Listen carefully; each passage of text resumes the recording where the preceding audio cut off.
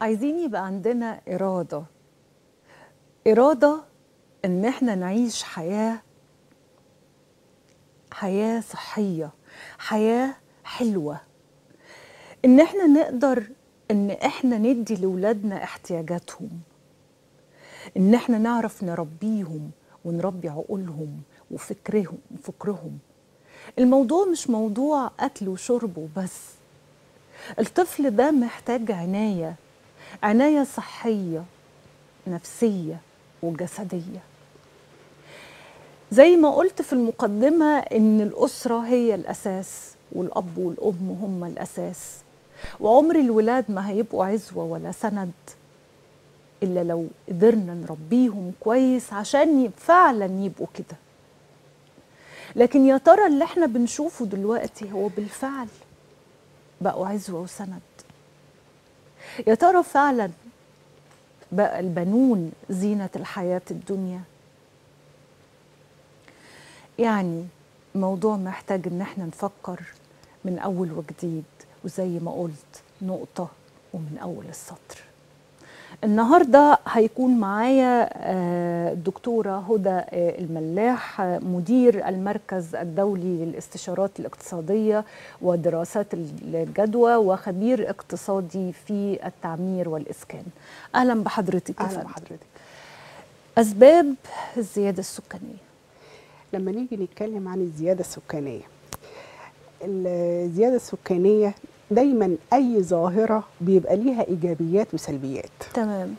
بالنسبة للزيادة السكانية نتكلم مثلا عن سلبياتها وبعد كده ممكن نتكلم على إيجابياتها والحلول اللي إحنا تمام. ممكن نتغلب عليها. تمام.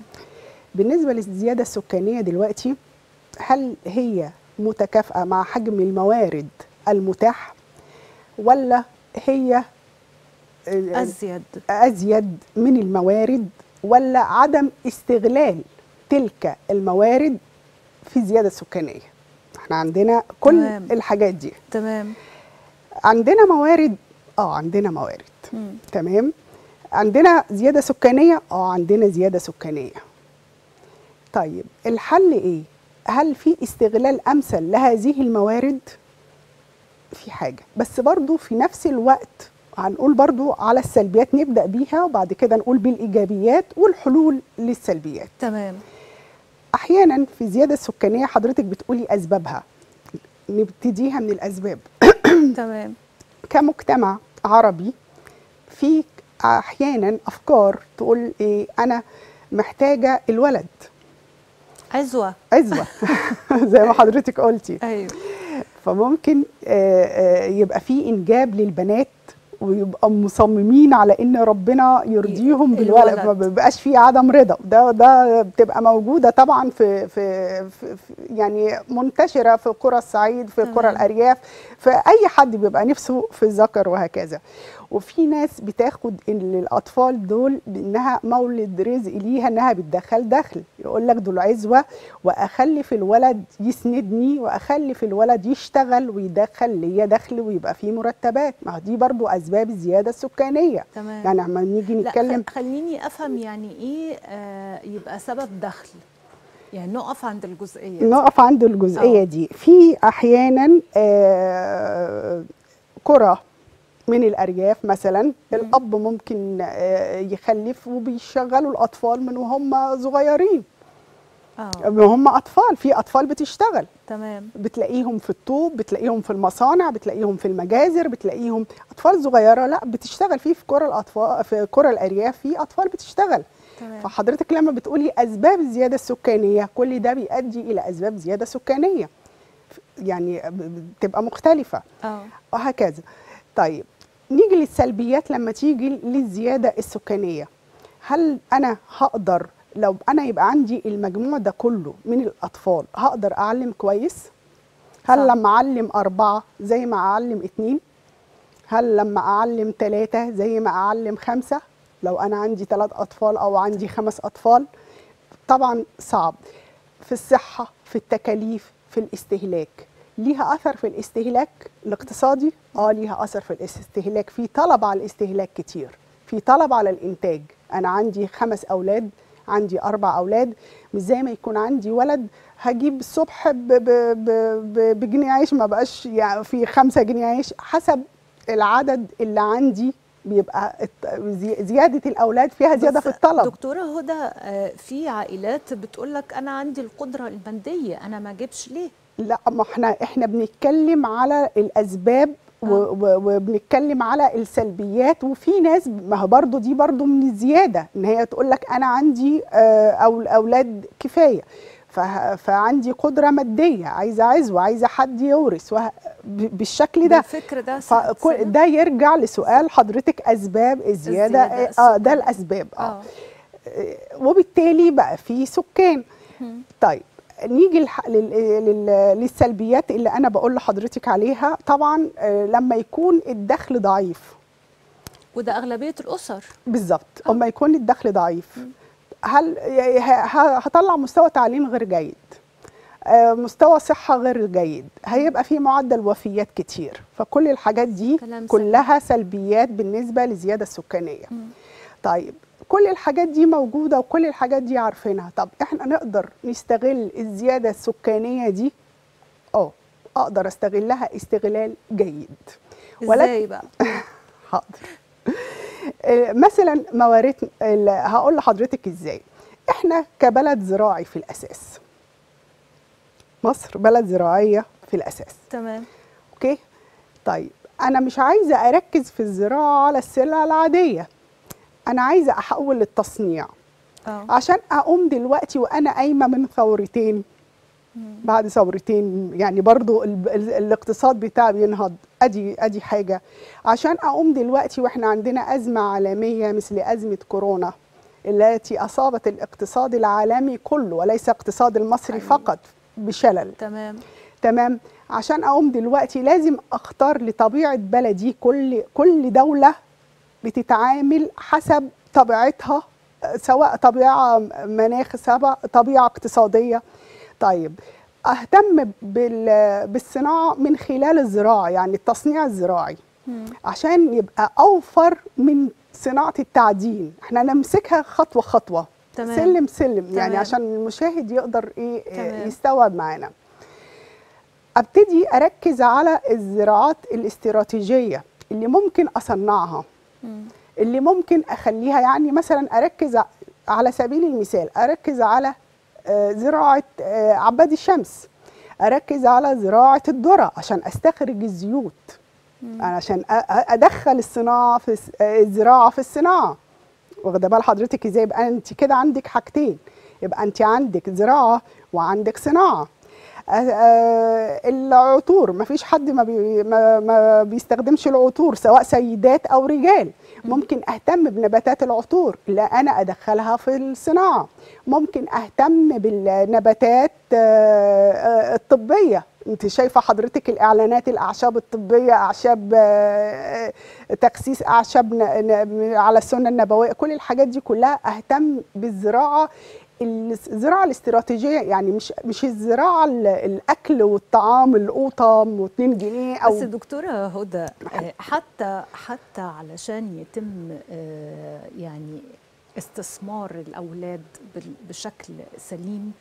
لازم برضو تقوم على التربية والتعليم والوعي ه يعني هنكمل الحوار ده معاكي. بس آه، بعد ما آه، ناخد آه، مداخلة الدكتور سامي الع- العسالة أحد علماء الأزهر الشريف أهلا بحضرتك يا فندم أهلا وسهلا بحضرتك يا فندم وبالسادة المشاهدين الكرام وبضيوفك الاجلاء. هل الرسول حذر من الزيادة السكانية وأجاز العزل بين الزوجين؟ آه، طبعا بسم الله الرحمن الرحيم في البداية والحمد لله والصلاة والسلام على سيدنا رسول الله. آه، ويذكر آه، في بداية الحديث أن أن من نعم الله تعالى على عباده نعمة الانجاب. آه، وقد جاءت كثير من الآيات القرآنية والأحاديث النبوية في بيان أهمية النسل. من ذلك يأتي قول الله تعالى الصوت ضعيف يا فندم ربكم نعم فندم الصوت ضعيف سامع طيب، حضرتك كويس. تمام كده يا فندم؟ آه كده تمام. اتفضل. آه، فطبعا آه، يقول الله تعالى يا أيها الناس اتقوا ربكم الذي خلقكم من نفس واحدة وخلق منها زوجها وبث منهما رجالا كثيرا ونساء. ويقول تعالى يهب لمن يشاء اناثا ويهب لمن يشاء الذكور فبعض الناس يعني يهبه الله البنات وبعض الناس يهبهم الله الذكور أو يعني آه، يعني سنة واحدة فقط أو الجمع بينهما. آه، وكان من دعاء آه، بعض الأنبياء كدعاء. إبراهيم الحمد لله الذي وهب لي على الكبر إسماعيل وإسحاق. تمام. وهذا لا يعني كثرة الأولاد بما يتناسى مع ظروف الأسرة والمجتمع. ومن هنا كانت الدعوة لتنظيم الأسرة آه، طبعا قبل ما آه، أجيب على سؤال حضرتك آه، الخاص آه، يعني آه، بما ذكر أو يسرى عن النبي صلى الله عليه وسلم يجب توضح والسلام. للسادة المشاهدين الكرام أن تنظيم الأسرة أو تنظيم الحمل آه، معناه قيام الزوجين بالتراضي بينهما باستعمال وسائل معروفة ومشروعة آه، لا يراد عليها إحداث الحكم أو القضاء على وظيفة جهاز جهاز التناسل مرة واحدة. لا بل يراد بذلك الوقوف آه، عن الحل فترة من الزمن لمصلحة ما يراها الزوجان أو من يتقان به من أهل الخبرة أو آه، أو ما إلى ذلك.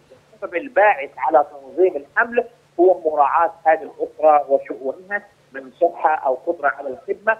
مع مراعاة الإنفاق على استعداد جهاز التناسل للقيام بوظيفته.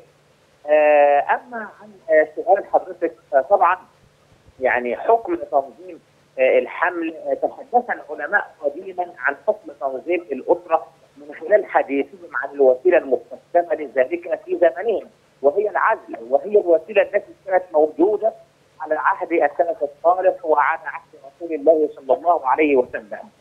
آه، فما هو آه، العزل؟ يعني ما مفهوم العزل؟ آه، هو طبعا يعني عدم تواصل أو اكتمال يعني العلاقه الشرعيه لنهايتها وحكم العزل يعني وردت احاديث صحيحه عن النبي صلى الله عليه وسلم تفيد جواز العزل من هذه الأحاديث يعني نذكر على سبيل المثال على سبيل الحصر ورد عن سيدنا جابر بن عبد الله رضي الله عنه قال كنا نعزل على عهد النبي صلى الله عليه وسلم والقرآن ينزل آه، ووجه الدلاله من هذا الحديث انه آه، يعني سيدنا جابر أخبر أن الصحابة كانوا يعزلون في زمن نزول الوحي.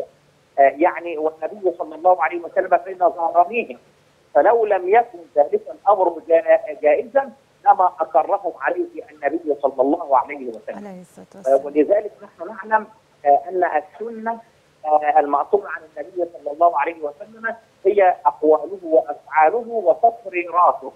طالما أن النبي صلى الله عليه وسلم اقر أمرا كان موجودا على عهده دخل ذلك في السنة التقريرية بس فضيلة الشيخ فضيلة. الشيخ آه، آه، الآية في ناس كتير آه، لما بن بنتكلم على موضوع ال- الأولاد وأعدادهم وإن إزاي إن الأوضاع اللي إحنا موجودين فيها دلوقتي المفروض إن إحنا نعيد التفكير تاني في إن ما يبقاش الأعداد اللي بيوصل لسبعة وثمانية وفي ضيق في الرزق وبيقعدوا في أوضة واحدة إن إحنا كده مش بنربيهم بطريقة سليمة ولا بنطلع للمجتمع آم، صالح فالآية دايما اللي بيستشهدوا بيها آه، إن المال والبنون زينة الحياة الدنيا فهل يعني ممكن حضرتك تد- تديني توضيح لل- للآية دي بشكل مبسط؟ آه، نعم يعني يمكن أنا بدأت حديثي ببعض الآيات التي تتحدث عن آه، الانجاب آه، سواء من الذكور أو الاناث أو الجمع بينهما. ذكرنا جانبا من ادعيه بعض الأنبياء يعني زي ما قلنا سيدنا إبراهيم كان بي- بيدعو ولما ربنا سبحانه وتعالى استجاب له ماذا قال؟ قال الحمد لله الذي وهب لي على الكبر إسماعيل وإسحاق. ربي سميع الدعاء. سيدنا زكريا ذلك دعا زكريا ربه. قال ربي هب لي من لدنك ذرية طيبة إنك سميع الدعاء. فلا شك أن آه، المال والبنون هما زينة الدنيا لا شك في ذلك.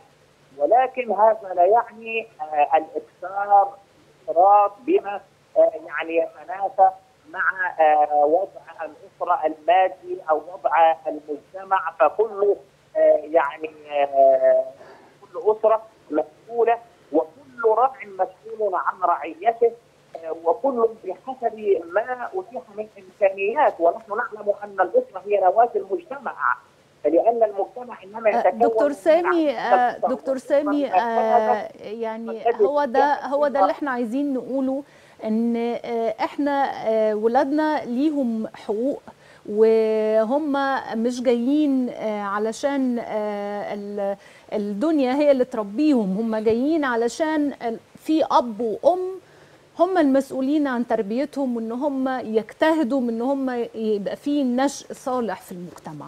وهو ده المفروض ال- الفكر الأساسي اللي المفروض يكون موجود عندنا.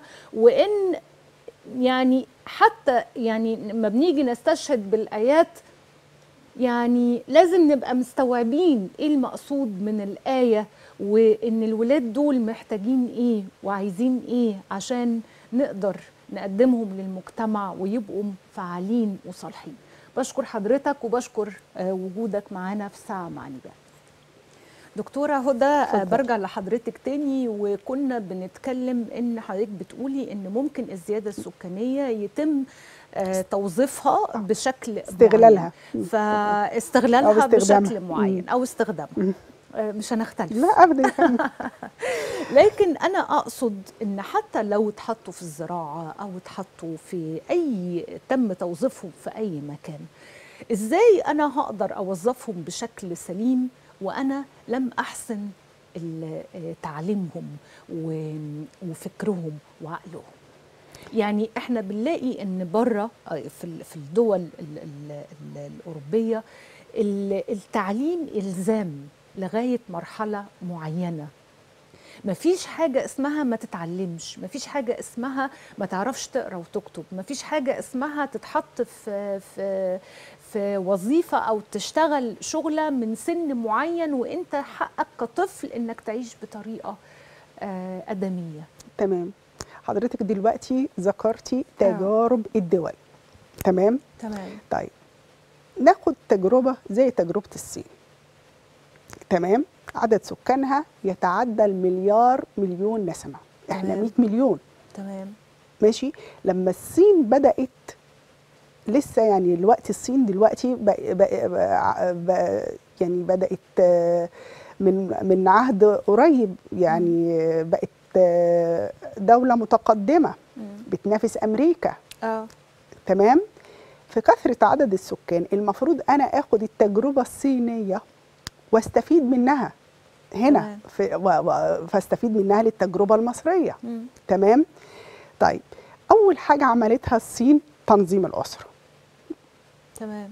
تنظيم بدأت بتنظيم الأسرة. بس مش تنظيم الأسرة مش كفاية عشان أنا عايزة بلدي تبقى دولة متقدمة. أنا عايزة بلدي إحنا دلوقتي داخلين على عصر الرقمنة. يعني إحنا داخلين على اقتصاد الاقتصاد الرقمي. كل يعني إحنا مارس اللي جاي كل حاجة دلوقتي هتبقى بالتكنولوجيا. الفواتير الفواتير بقت إلكترونية. ال- ال- العملة العملة بقت إلكترونية. كل حاجة يعني الناس كلها بتتقدم. طيب إحنا مش هننظم ونسكت. مش هننظم ونبقى قاعدين. إحنا عايزين إيه بقى؟ طيب خلينا نقول حضرتك قلتي التجارب اللي بره. بلاش إحنا نقول نعمل إيه. تمام. بلاش بنقول إحنا سياساتنا كلها مش نافعة معانا. خلاص تمام. ماشي. أوكي؟ تمام. طيب ناخد التجربة الصينية. عملت إيه التجربة الصينية؟ اهتمت بالمستثمر الصغير. الطفل. المستثمر الصغير لا مش الطفل. ولا قصدي المستثمر ما بقولش المستثمر. المستثمر آه. يعني المشروعات الصغيرة أنا, أنا أقصدها. افتكرت الاستثمار في الطفل يعني. لا آه. لا هي استثمرت في العقول. تمام. تمام؟ تمام. فهي اهتمت بالإس- بالمستثمر الصغي- الصغير يعني المش... اهتمت بالمشروعات الصغيرة لأنها أثبتت أن المشروعات الصغيرة هي سبب تقدم الدول. يعني الدول المتقدمة دي كلها الأوروبية ها بدأت المشروعات الصغيرة هي اللي وصلتها للتقدم ده كله. هي اللي وصلتها للتكنولوجيا وليست المشروعات الكبيرة.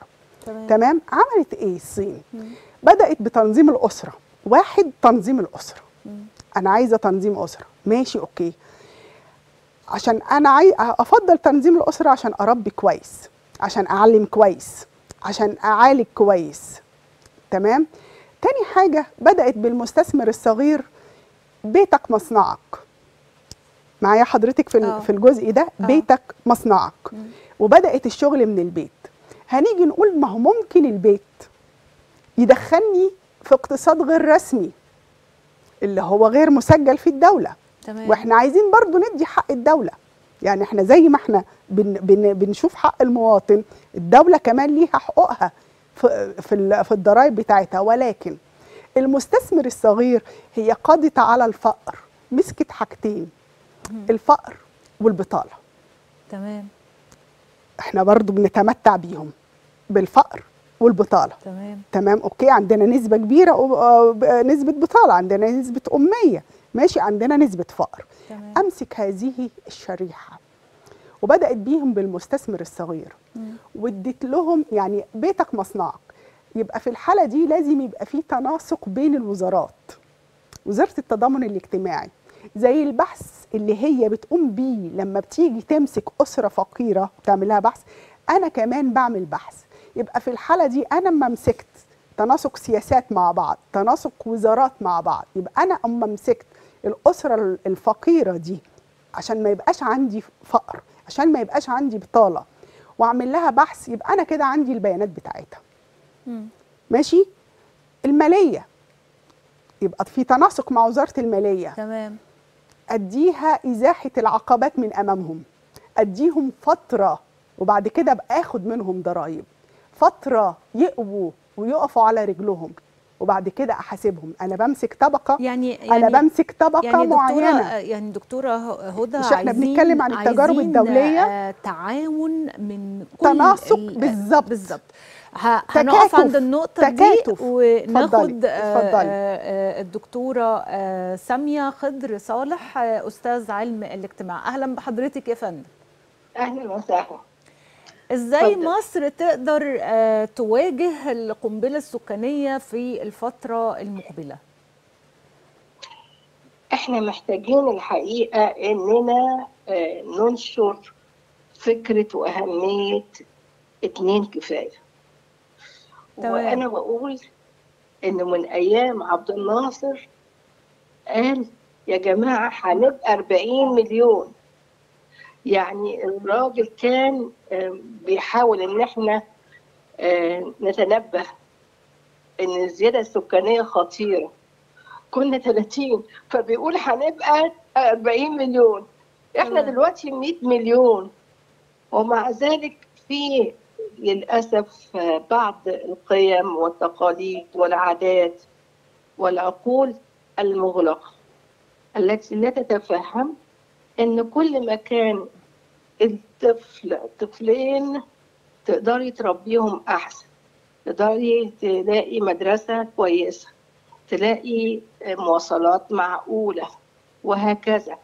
إحنا بنعمل تنمية وفي طبعا الصناعات الصغيرة ومتناهية الصغر والشغل الرائع وتنمية ما حصلتش من فوق من فترة طويلة جدا جدا جدا لكن ده كله بيتم امتصاصه من خلال الزيادة السكانية. نوصل نوصل لعقولهم. نوصل لعقولهم إزاي يا دكتور؟ يعني يعني دلوقتي حضرتك بتقولي آه، آم، طفل واحد أو اتنين آه، كافي آه، لازم يتوفر لهم الرعاية الكاملة لازم يتوفر لهم التعليم آه، الرعاية الصحية. إزاي نقدر نقنع الناس اللي اللي هم بيقولوا الولاد عزوة؟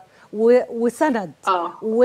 وناس تانية بتشتكي من الفقر. تاني إحنا عشنا في فترة آه، يعني فترة من مدة طويلة من أيام عبد الناصر زي ما بيقول. تمام. أول ما قال هنبقى 40 مليون وجدنا أفلام كتيرة جدا.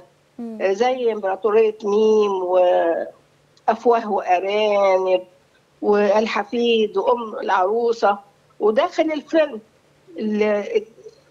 الولد الشاب بيسأل الشاب نور الشريف بيقول له ليه بتقول لزوجتك نستنى سنتين بعد كده نبص للإنجاب؟ قال له تمام لأنه توجه دولة. ده اللي إحنا يعني إحنا عايزين لازم إن إحنا الإعلام يشتغل على هذا الأمر.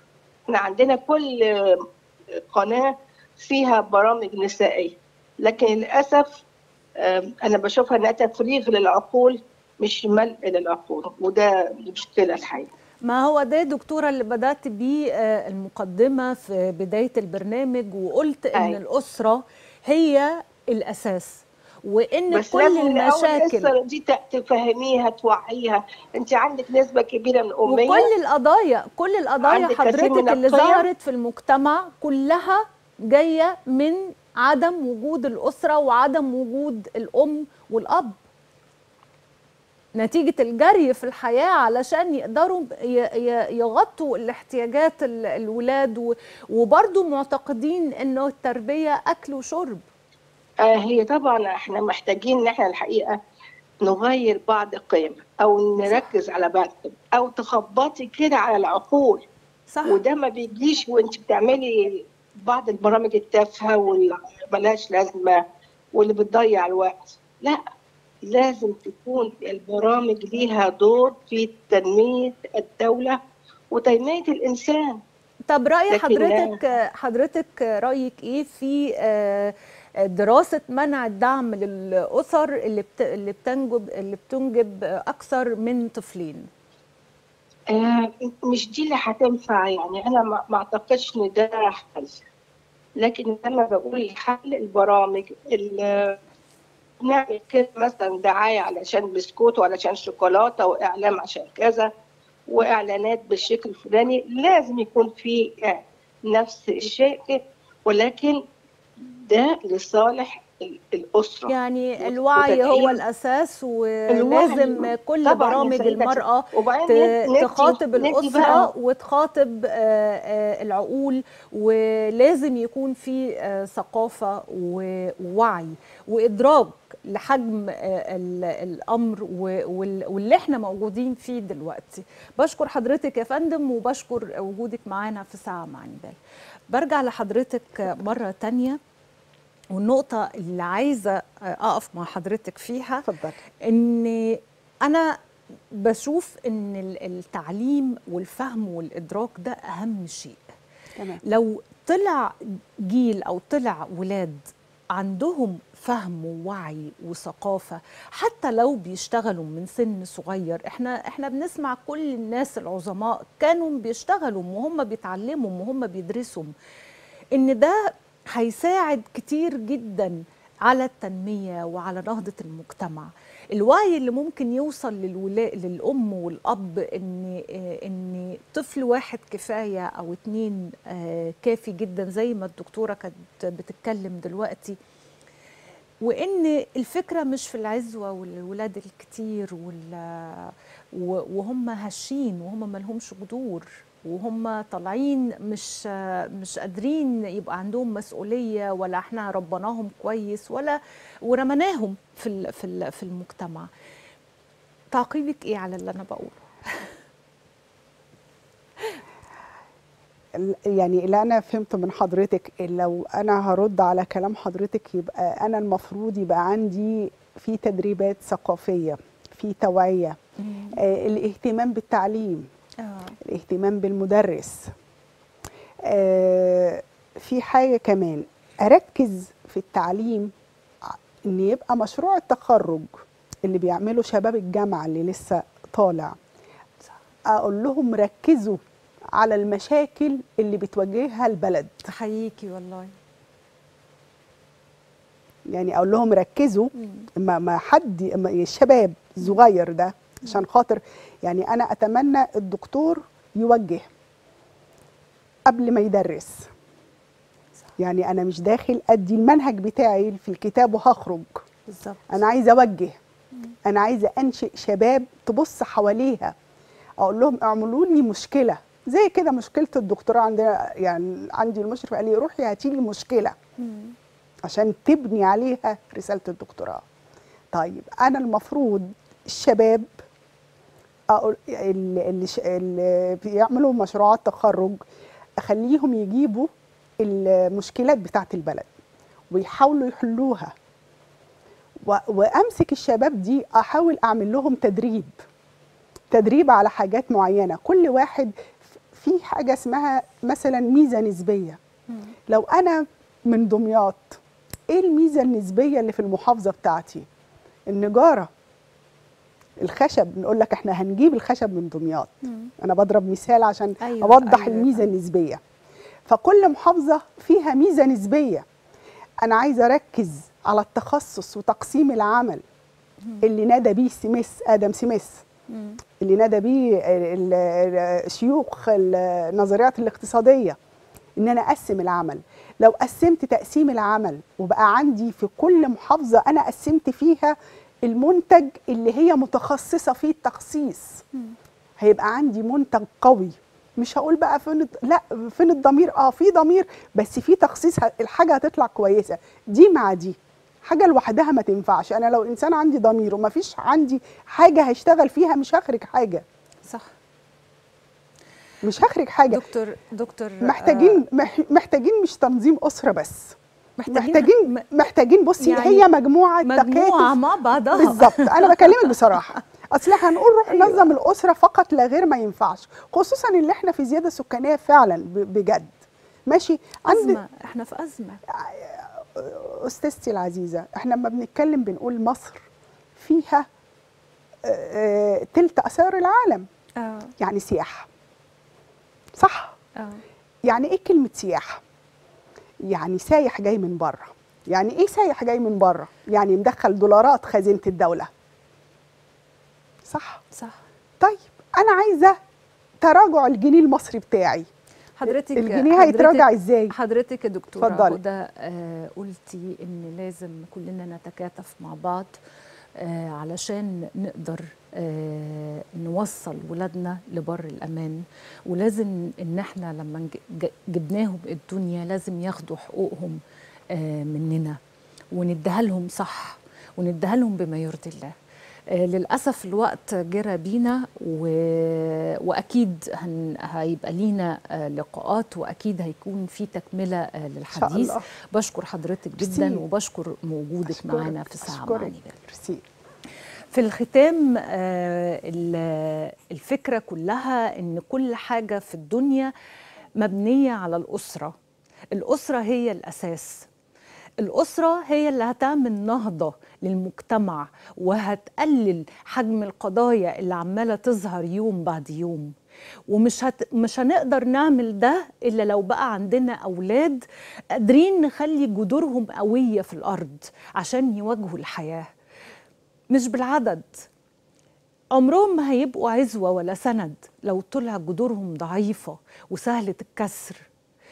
رسولنا الكريم مفروض إن يعني إن شاء الله في يوم العرض على رب العالمين يتباهى بأمته لو إحنا طلعنا أولاد بالشكل اللي إحنا بنشوفه دلوقتي وإحنا مش قادرين نوفر لهم أبسط حقوقهم حقهم في الحياة. هيتباهى بينا.